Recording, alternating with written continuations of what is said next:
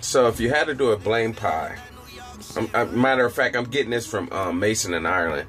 They host a show on ESPN 710 AM where they have this thing called the blame pie.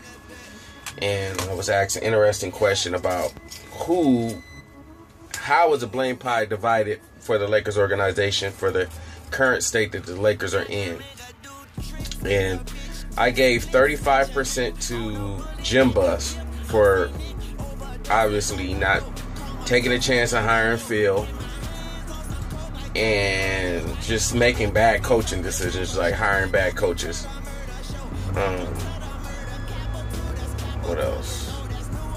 Uh, Jeanie Buss, 35%, because she won't get over that Phil Jackson is not the head coach or basketball operations guy for the Lakers. She won't look past that. She's so deeply hurt and bitter about it that her and um, Jim Buss don't get along, and it's just not working out for what's best for the Lakers.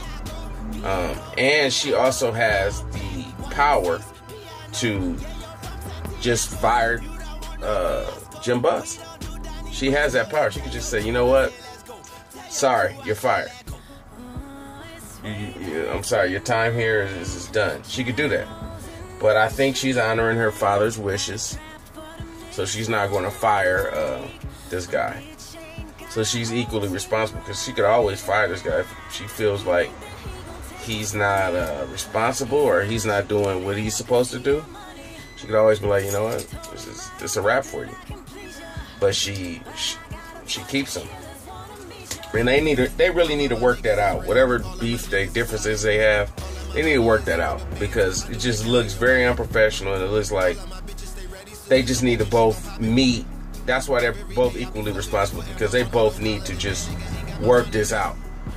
It's, it's really ridiculous. If you're not gonna sell the team, try to work this out. Try at least on the business level. I'm not saying that they don't have that business relationship, but it's it's ugly when your brother and sister and they're both responsible. They need to work that shit out because it's, it's ridiculous. Um, and I give Byron Scott 15% because Byron Scott uh, is just not really developing the rookies how he should and, and letting Kobe run amok doing what he wants to do. And um, Kobe, I blame him for 15% because of his his errant play. Shooting all of these shots for no reason. Um, he knows he's not helping the rookies. Now the rookies do sit back and they look at him and they're like kind of stare like, wow, this is a great Kobe Bryant. Even D'Angelo Russell came out and said, oh, uh, I'm a fan of Kobe. But Kobe and Byron Scott are equally responsible because they're playing this game where Kobe gets to do whatever he wants to do. Byron Scott's enabling Kobe, and Kobe knows that his play. He he's, he's an intelligent man. He knows that his play is not helping the rookies. And I don't blame him for taking that contract. So that's why I didn't give him. Because if somebody offered you 25 million, would you turn that shit down? Hell no. And I know you guys are saying, oh, with the Spurs, and Tim Duncan took a pay cut, and all of these other guys taking pay cuts. Um, there's no guarantee when you take a pay cut that you're gonna get a championship. It just doesn't work like that. Now, you know, you do have a case where uh, Tim Duncan is willing to come off the bench. He's willing to do everything. He's more submissive. And I think Tom Brady took a pay cut. They, I mean, well, they both got rings. But if you're getting paid that much money and they're not telling you what direction they're going to go, I mean, shit, you're just going to take the money. So I'm not mad at him for that. So, uh,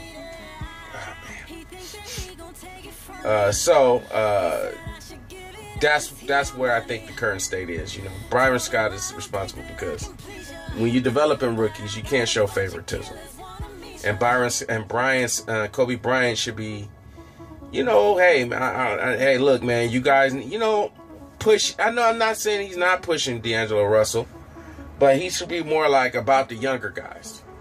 since this is being his last year and he knows that, you know, hey, I, I can't carry the team by myself anymore, that he should be a little bit more open to letting them run and take over. But that's not in Kobe. That's never gonna happen. So, yeah, that's that's that's my uh, opinion about the blame pie. All right, like, comment, subscribe, Medi Start. Peace.